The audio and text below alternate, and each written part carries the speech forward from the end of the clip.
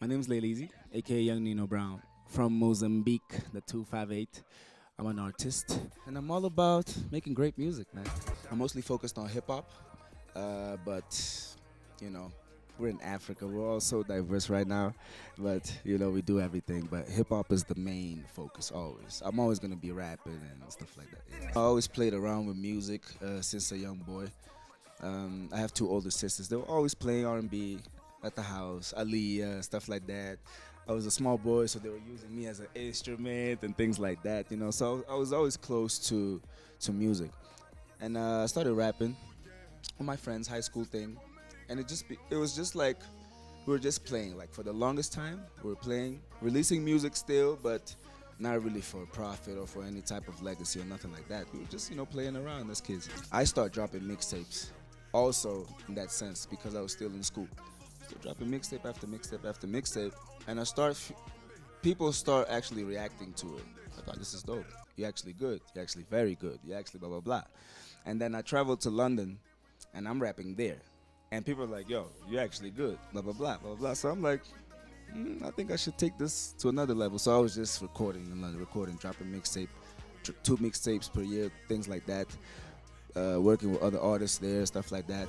So when I returned to Mozambique, my country, I was like, okay, uh, I made a plan, you know, so I can support myself. I made a plan in London. I was saving up for a business that I opened, and that business was what supported my career in the beginning phase until I got signed to Joburg Records, and they kind of like they just believed in me so much, and it's just been history from there. In the beginning, I, I wasn't even really like that confident. I wasn't really believing in myself like that. The people, who, the person who actually was like, "Yo, we have to do this," was my producer El Put, you know, uh, and my friends also. Um, Gui, those are the guys, but they were still also studying abroad. I, I had returned already, but everybody was like, you know, you should do it, you should do it, you should do it.